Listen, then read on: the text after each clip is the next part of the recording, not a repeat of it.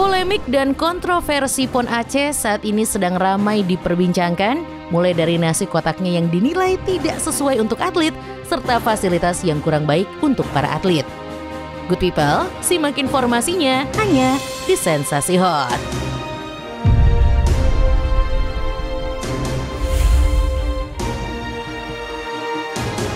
Terlihat dalam sebuah video yang memperlihatkan kotak snack malam berisi roti dan santan kemasan. Paket makanan yang diberikan tersebut dinilai tidak sesuai dengan ekspektasi, terutama dengan adanya santan kemasan sebagai salah satu minuman. Sementara itu Good People, pada beberapa hari yang lalu beredar video di TikTok salah satu atlet mengunggah menu makan para atlet yang terlihat sederhana. Tak hanya sampai di situ saja, menu selanjutnya pun sama saja bahkan terlihat sangat sedikit, bahkan tak sedikit yang mengeluhkan soal makanan untuk para atlet ini.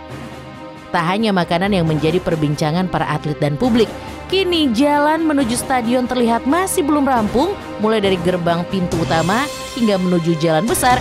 Kondisi jalan menuju stadion juga masih berupa tanah dan di beberapa titik ada terdapat genangan air. Wali Kota Medan Bobi Nasution memberikan tanggapan terkait hal ini karena mendapat banyak keluhan dari publik perihal infrastruktur penyelenggaraan PON Aceh Sumut. Saya sering di tag sama masyarakat nih banyak sekali yang ngetek-ngetek sama saya baik di Instagram dan di sosial media. Karena penyelenggaraan PON ada yang bocor saya yang di tag jalannya masih berlumpur saya yang di tag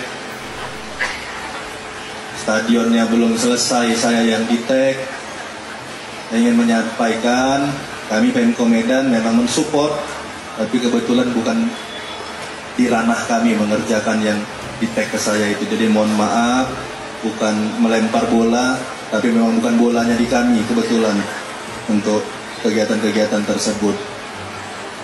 Namun di luar itu tentunya suksesi PON harus menjadi agenda bagi kita semua.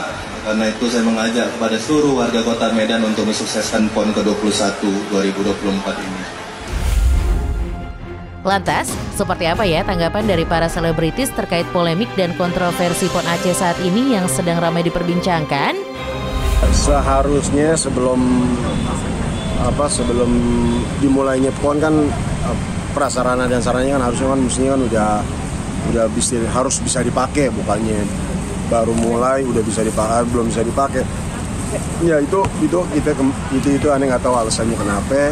Itu kita serahin sama Pemdanya, serahin sama Kemenporanya. Itu urusan-urusan mereka. Cuman yang penting di sini ada pengen kasih tahu cuman ya nggak selayaknya lah. Dia kan atlet-atlet kesono itu berjuang, berlomba, membawa nama uh, daerah masing-masing. Tapi kita sebagai tuan rumah harusnya kita memberikan pelayanan yang terbaik. Ya banyak dapat kabar ya zaman media sosial pemberitaan ya uh, TV-TV konvensional juga banyak media mainstream bahwa banyak persiapan yang kurang maksimal. Kan gampang banget sekarang tinggal diposting ya. Sarana prasarana yang kurang kurang apa ya belum selesai masih becek sini sini. Pertandingan cabur-cabur juga teman-teman banyak. Juga keluhan-keluhan yang wasit-wasit beragam cabur yang katanya beberapa oknumnya memang yang nggak profesional kualitasnya sorry. Hmm. kualitasnya juga kurang kurang baik ya. Macam-macam kita gue baca di Facebook di Twitter hmm. dari mulai bela diri cabang olahraga sport semacam-macam. Ya begitu deh. Akhirnya sampai ada berantem berantem nggak nggak aneh. Nah itu coba diusut deh ya, soal masa catering itu. Kadang-kadang kan kenapa yang di sananya nggak bisa maksimal kadang-kadang cairnya mepet. Atau kali aja kita nggak tahu ya jangan-jangan sebelum cair ada oknum lagi misalnya itu perlu klarifikasi ada yang gunting-gunting lagi. Sehingga yang tadinya bisa dapat mungkin banyak lauknya jadi sedikit sedikit karena menang tendernya gimana ya usutnya di mana gitu atau memang oknum di bawah dapatnya udah benar pencairannya tepat waktu tapi di bawah jangan-jangan ada oknum yang bermain Good people, usai sudah perjumpaan kita untuk hari ini. Jangan lupa ya, terus saksikan Sensasi Hot untuk mengupas lebih dalam seputar dunia selebriti tanah air.